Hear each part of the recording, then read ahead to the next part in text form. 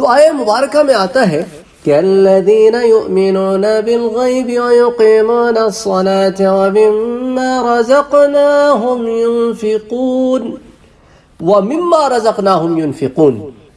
यानी कि जो रिस्क जो कुछ अल्लाह ताला फरमाता है हमने उनको दिया है उसमें से हमारी राह में खर्च करते हैं तो इस आयत में जो फरमाया है और जो कुछ हमने उनको दिया, इसमें से हमारी राह में खर्च करते हैं।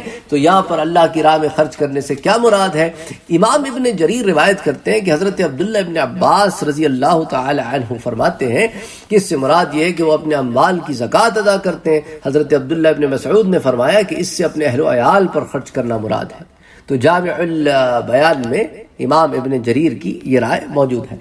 अच्छा अल्लाह ताला ने इंसान को जिस कदर ज़ाहरी और बातनी नेमतें दी हैं इन सबको अल्लाह की राह में खर्च करना मुराद लिया जाए, सो मुत्तकीन वो हैं जो ज़रूरतमंदों पर माल खर्च करते हैं। अहलो अयाल खराबतदारों और आम लोगों की मदद करते हैं। ज़बान को खुदा की राह में अमर बिल मारूफ और नहीं अनिल मुनकर के ज़रिए खर्च करते हैं। हाथ पैरों की ताकत से कमज़ोरों के काम आते हैं। खुदा की दी हुई अकल से कम अकलों को मशवरे देते हैं। तकवा और परहेजगारी के असर से उनको जो रूहानियत हासिल है, इससे लोगों का तस्किया करते हैं। और इनको अल्लाह ने जो इल्म दिया है, उसे दूसरों तक पहुंचाते हैं। तो खिफाजी लिखते हैं कि हाफिज इबन असाकिर ने अपनी तारीख में और इमाम तबरानी ने अलमजमुल अवसत में हज़रत अब्दुल्ला इबन उमर से मरफून रिवायत किया है कि जिस इल्म को हासिल करने के बाद इसको बयान न किया जाए, वो इस ख़जाने की तरह है जिसको खर्च न किया जाए।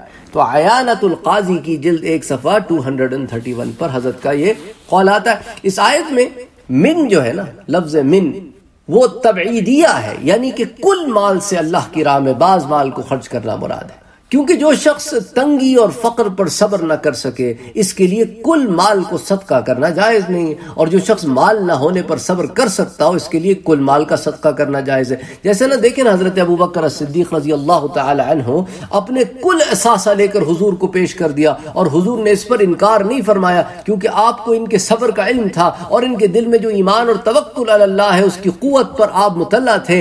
हसन बिन सहल से कहा गया, इसराफ में कोई खैर नहीं है तो उन्होंने कहा, खैर में कोई इसराफ नहीं है, यानी खुदा की राह में। अगर सब कुछ दे दिया जाए तो इसराफ नहीं है, लेकिन ये मर्तबा और मुकाम के एतबार से है। हर एक ये नहीं कर पाता। अच्छा इमाम राज़ी लिखते हैं कि शकीक बिन इब्राहिम बल्खी, ये भेज बदल कर अब्दुल्ला इबन मुबारक के पास गए।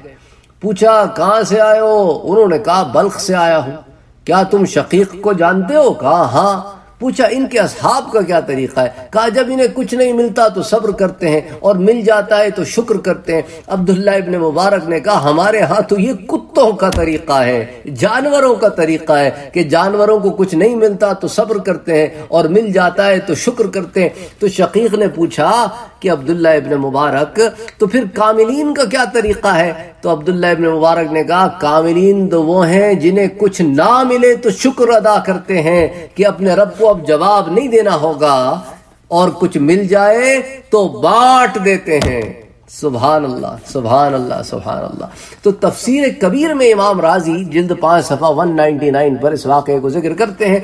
तो अल्लाह ताला का इरशाद पाक जो है कि ये कलाम जो है ना, ये मुतकीन जो है, ये ये उनकी सिफात में से है कि ये ईमान लाते हैं गैब पर और नमाज़ को कायम करते हैं और जो हमने उनको दिया है उसमें से खर्च करते हैं, अल्लाह की राह में और हलाल तरीक़ों को अपनाते हैं और हलाल रास्तों को अपनाते हैं और यूँ खर्च करते हैं अल्लाह की राह में।